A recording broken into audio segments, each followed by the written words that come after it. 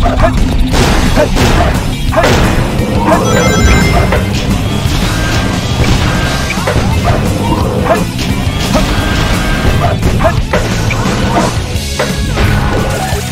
defeat the bomb robots,